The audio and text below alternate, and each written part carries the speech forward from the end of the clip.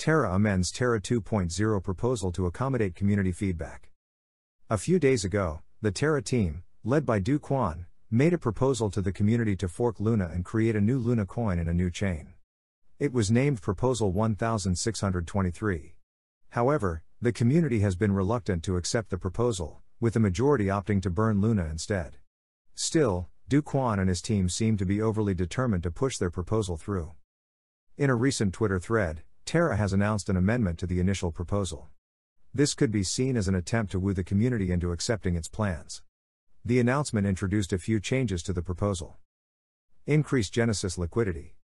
When the fork happens, the initial coin supply will be increased from 15% to 30% to offer more liquidity for all UST and Luna holders. This will also be tuned to give leeway for the team to mitigate inflation in the future. Luna holders to get new liquidity profile. Those who held Luna before the crash will have new liquidity profiles. Those with less than 10k Luna will enjoy the 30% initial liquidity as well as access to the other 70% over a two year period.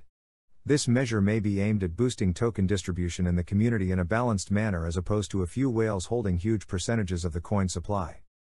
Initial UST holders to get less.